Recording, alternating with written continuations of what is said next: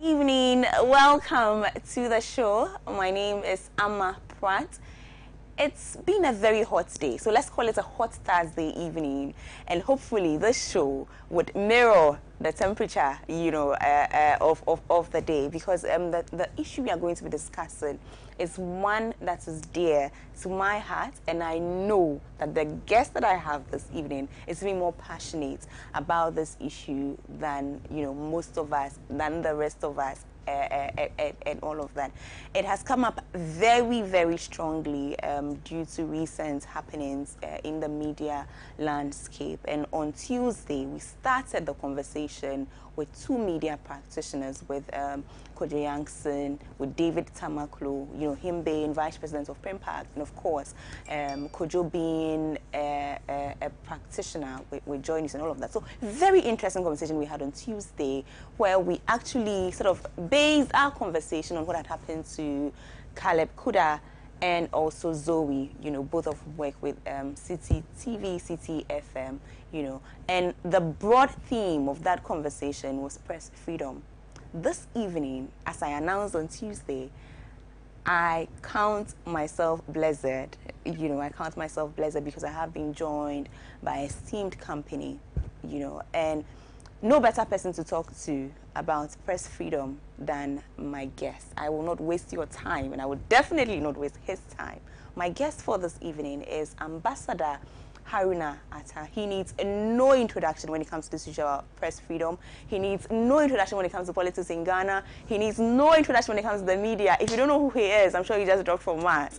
So I'm sure you can understand. Of course, he's a celebrated author too, you know, having put down his thoughts eloquently and expressively on paper over time. So, you know, grab yourself a bottle of water. It's, it's going to be a long ride. Hello, sir.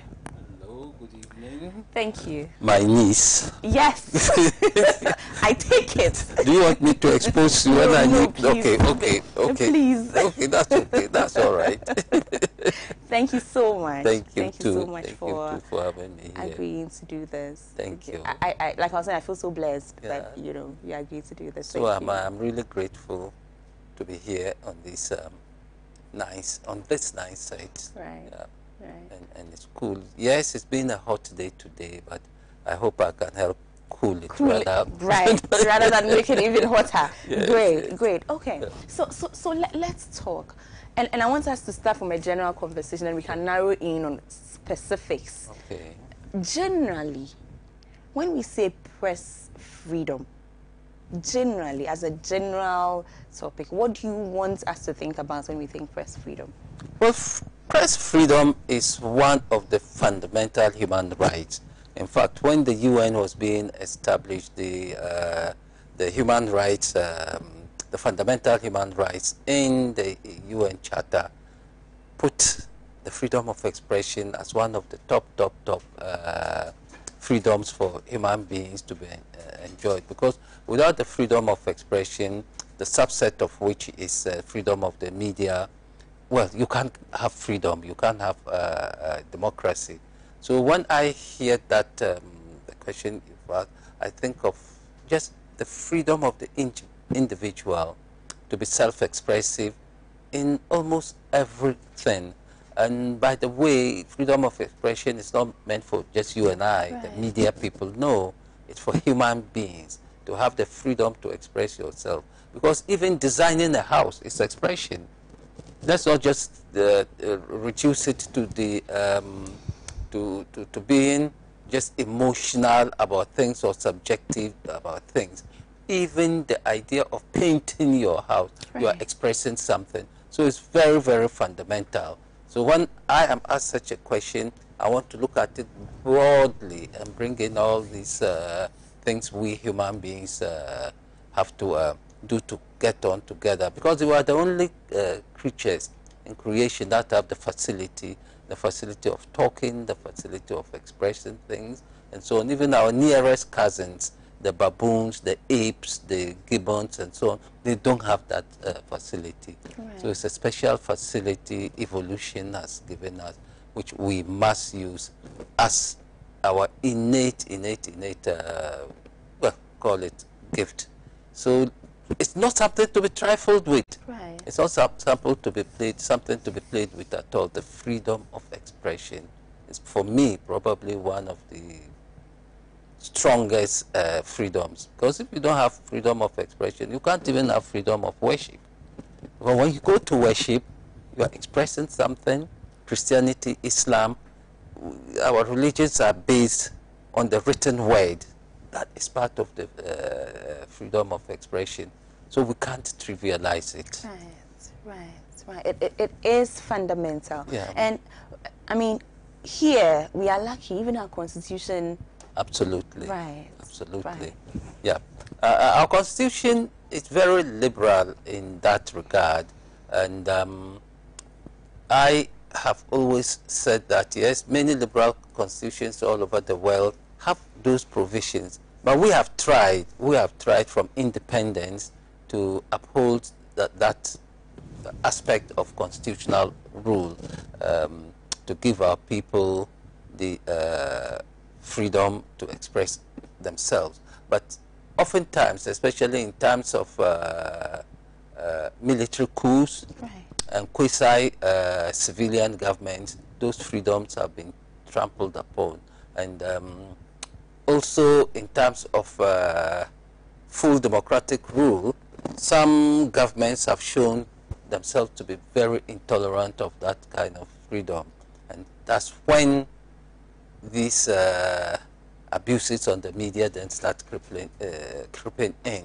And we've seen what's been happening uh, these past few years. So it's not a very comfortable situation we have right now. Right, right, right. Which, which leads me straight to, you know, your good old days, not ours. we didn't exist then. so that takes me straight to your good old days. And, and, and I'm going straight there because on Tuesday when we had the conversation, I had a little, well, not a disagreement, just the, you know, with Yankson, when I felt as though perhaps what we are seeing now is a reflection of those of us in the media now. And I was making the example that your time, I felt as though, even though it wasn't a democracy, you know, the powers that be sort of were afraid of you one way or the other. And, and, and it feels as though now in a democracy, one would have thought, but now rather I feel as though nobody's really afraid of the press man or the journalist. Or, am I wrong? You're absolutely right. Um, the the, the uh, status quo now is one of impunity, not just journalists, not just impunity against journalists, but impunity against everything, everybody. The uh, uh, what do we say? The the body politic has sort of gone haywire somehow. And um, I keep telling people that we have to reboot and get back on the line we were. Because look, for example, I I just printed this out from the Media Foundation for West Africa, Press Freedom Violations in Ghana, January 2017 to December 2020. It, it, it, it, it doesn't make good reading at all. It, it, it doesn't. It doesn't. It just shows one violation after the other. In fact, they start the uh, alert from February 27, 2017, and the last alert was on December 29, 2020. Um, it, it, it, it's not been good. So let's work with the facts we have. Right. Uh, so you were absolutely right. I don't believe that we should just grab things from the sky or be emotional about it or just transpose our feelings. Let's have the facts. Right. And the facts I have from the Media Foundation alert do not give a pleasant story at all. So right now, the media in Ghana is very much under stress. I would say stress. I wouldn't even say strain, under stress. And I think it is relevant that we all raise that issue and talk. Because when the freedom of expression is taken away from you, then life has been taken away from you. Right. Yeah, there's just so much impunity.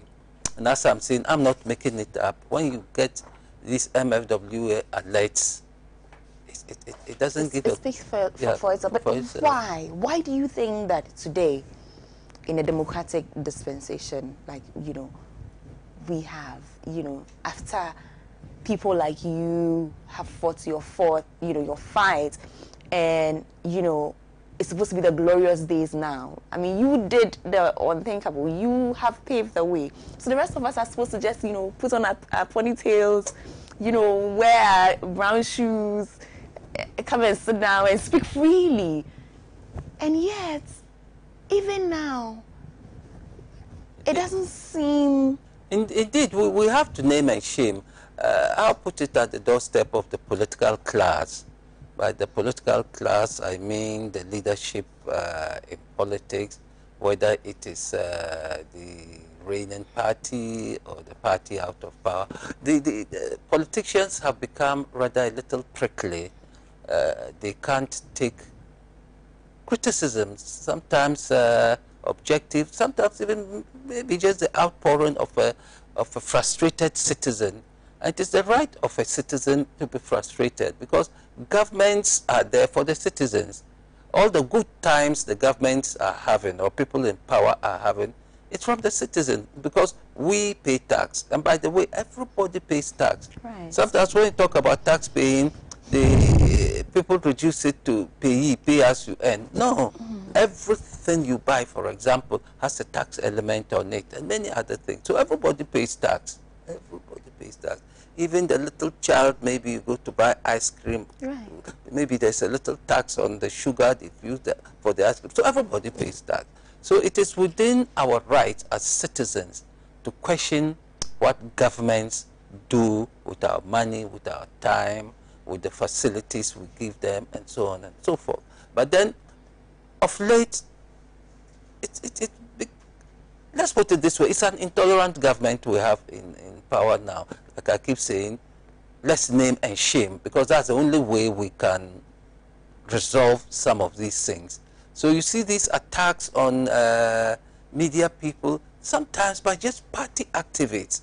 I mean, uh, sometimes by military people, sometimes police people, operatives of... The, no, I, I, I, I hope um, the MFWA would make this available uh, for people to read and see uh, stuff for themselves. Right. But, but the situation we have in Ghana now, it's not very, very nice. Because even the closure of radio stations, the uh, sending of um, security operatives to do these kinds of things, and even what happened recently to the Citi FM reporters, right. all these things do not add up to uh, to, to a positive image of, of us as a nation.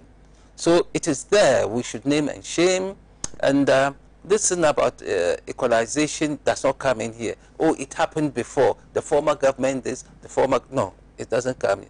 The present government, at each time, that's the government that is on the watch. Right. Uh. So this is what is happening now, and that's what we have to discuss.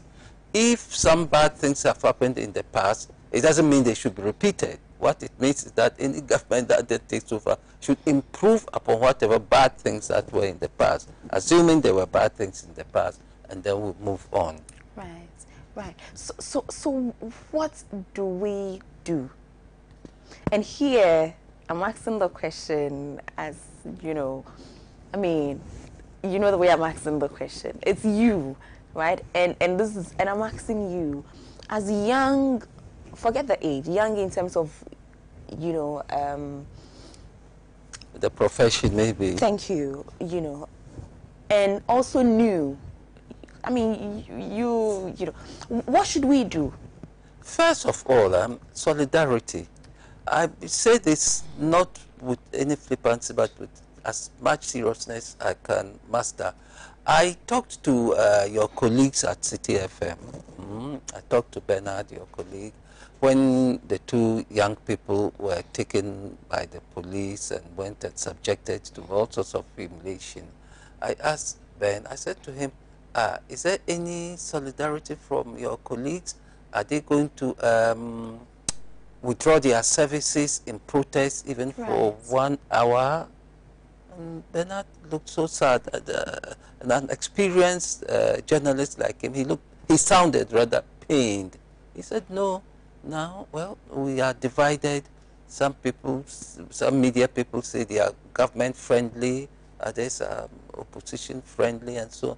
So he says to me um, that there's no solidarity, and it broke my heart because if the media doesn't have solidarity, if you don't put all your politics aside, when these such things come up, such infringements, terrible abuses on your human rights come up, and you can't solidarize and lead the way for the rest of us to show our sympathy and our solidarity to, then nobody can help you. Because civil society also needs a certain uh, fire, a certain spark to move. When I was listening to the interview of the young man and young lady and what happened to them at the police or wherever the police people are taking them to, I was I was flabbergasted. It, it, it was just a complete abuse. And are we saying that so that's the end of it? It ends there. Right. The police people go free. Right. The minister for information goes free. Everybody goes free. It's not right. It's not right. There is the need right now, as we speak, for an investigation. GJA should call for an investigation into it, a public uh, uh, uh, investigation. Let's find out what went on. Who gave the orders for the police or soldiers to go to a media house and violate its independence? It was a violation. And that can only come from you people. And that's why I'm talking of the solidarity. Without solidarity from practitioners, it won't work. In our case, for example, when I went to jail with uh, uh, the whole country rose. The media got up. The whole country rose to our defense. There were looters. The international community stepped in and called for our release. In fact, for the first time, Rawlings, the late President Rawlings, was even on the back pedal because he had to comment. He had to comment because he said, well, there, there's nothing he could do about it since it's a judicial process that has uh, taken that through. So he was even compelled, for people, Rawlings was compelled to comment on it because of the solidarity that was built around us by our colleagues in the media, which was then taken over by the civil society and by the nation in uh, general. So it's important. I feel heartbroken that your uh, colleagues have not shown any solidarity at all with their colleagues at Citi right. FM. So if you ask me that question, I would say that's the first, first point of yeah, solidarity. yeah, solidarity amongst the journalists themselves. Yeah. Right. Mm -hmm. And then secondly, we should also, uh, that is us citizens, we should also uh, have the courage from solidarity. You go to courage. We should have the courage, the courage to stand up to these things well, not everybody has the courage, but then those of us who have, especially those of us who have the uh, talent of the media, like writing. I write every week. I post my writing every week on the uh, social media. Let's talk. Let's comment. Let's. It, I'm not saying we should be belligerent or bellicose or whatever. Just get the points out and point out to the larger community of uh, Ghanaians that this is go going wrong. Let's go against it. But then Ghanaians too would like to uh, sit down. So solidarity, courage, they come in. And then thirdly, professionalism. Mm -hmm.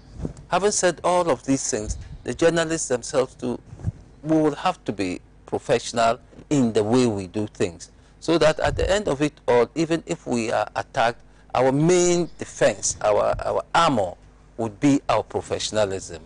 Have we been professional enough? Can we uh, stand up to whatever threats are coming to our way by having the armor of uh, professionalism? So these are very, very important uh, points I'm uh, raising. Good question, I must say. Thank you. Thank you. But, but, my problem with the first one, that's with the solidarity, then comes back to uh, regulatory bodies, you know, let's even leave regulatory bodies for now. Let, let's just talk about the GJA, for instance. Mm -hmm. You know, the, the bodies that we are all supposed to belong to, or the bodies that we sort of um, look up to. And the fact that unfortunately, you know, um, for lack of a better word, they fail us They in, in, in, in, in, in these times. Yeah. So then again, it leaves us wondering how do we solidarize when there's no central point, an effective central point to sort of galvanize all of our thoughts and our activities, and you know, how do we? Yeah, I, I, I'm sure it, it's uh, of much concern to some of your colleagues. One uh, asked me a question just last week Right. whether you, uh, there's the need for you people to unionize.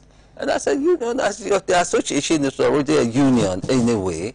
Uh, but perhaps the person was referring to local unions, local unions that would involve every worker where you are working. And so if there's a need for agitation, that union within the workplace, which would involve all your workers, your uh, cameramen, your soundmen, the journalists and so on, maybe, I don't know. But then there is the need for, uh, for a machinery that can take issues up and make the necessary useful noises for others to follow. So um, local unions, I don't know, it has to be discussed. It has to be given body, it has to be given a form and a kind of content within which to work, if such a thing is necessary at all. But like I'm saying, I don't know. The association itself is your uh, union, so to speak. So, uh, yeah, it, it, it's just sad that um, the uh, association itself has been caught in a kind of culture of silence. Um, and that's understandable because a lot of the members of the association are state sector operatives. They don't have the kind of courage and independence you people have. So they are still afraid of their jobs. They are still afraid of their bosses when they go back to the to the state-owned uh, uh, media enterprises.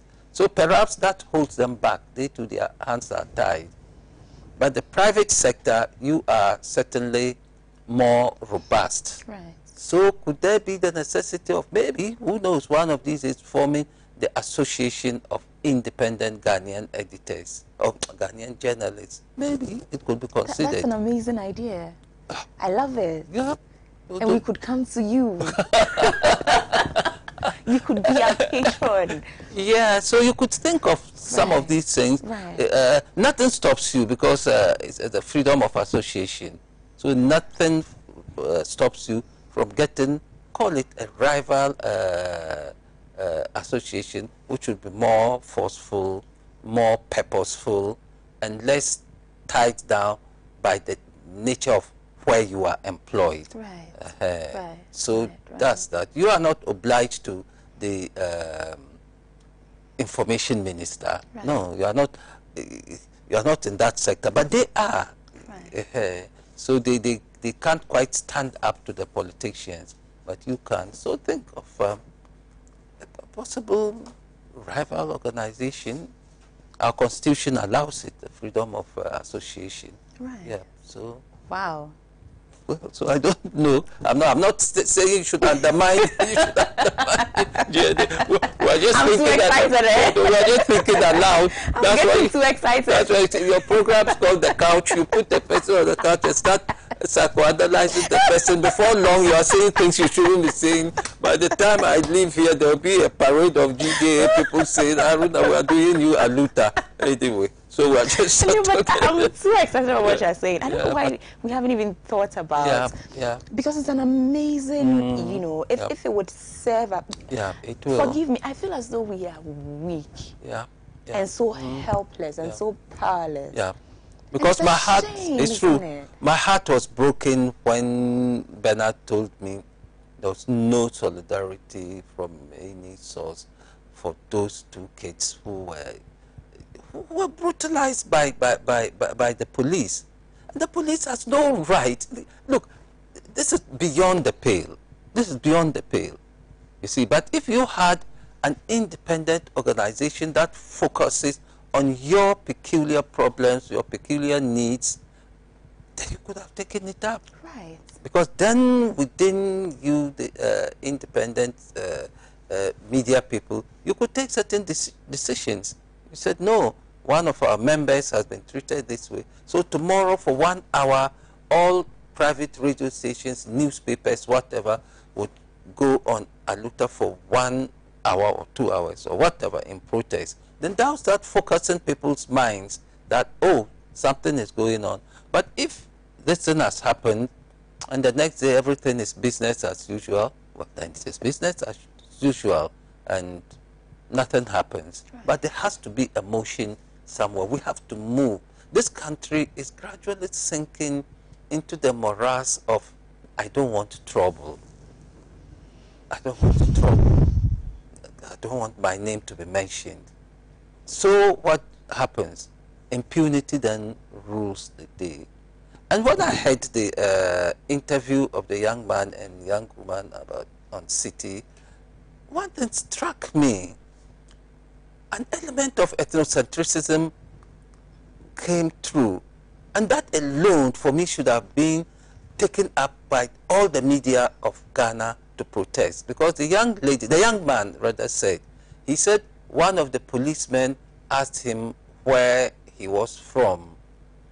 And uh, before he could answer, he heard one of them say, Ana oye aigbeni. Hmm. It's on, it's on, it's on right. tape. Ana oye aigbeni. This shouldn't come out from the mouth of a policeman. That policeman should be dismissed immediately. The tape is there. I heard it.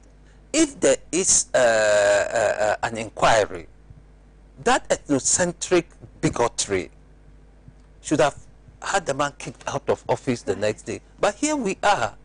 Because there is no solidarity, even you people who should notice such things, take notes about them and act. Nobody is doing it. It's someone like me on retirement. I've noticed it and I've growled so much. I've told my wife and a few friends that this shouldn't happen. Ghana has gone beyond Ana Oya Igbeni. It, it, it, it, it, we've gone beyond it. Come on. So the media that is supposed to mirror all these warts and pimples itself has uh, totally uh, unclear mirror. Right. Yeah, that's right. that's what I heard. Right. You see, right. so when these things are happening, and the media too are not thorough, unfortunately, sometimes the media these days are not very thorough, so they miss out on certain clues and certain vital things that they should pick up and uh, blow to the uh, society to, to say, no, it shouldn't happen. What they did to the uh, Citi FM people, no, it was wrong. But then for one of them to actually articulate that, oh yeah, Aigbeniana. So the young man said he was so frightened. He said, no, he's from the he's central region. Fancy. Yeah. Yeah. Yeah. So, under whose orders did they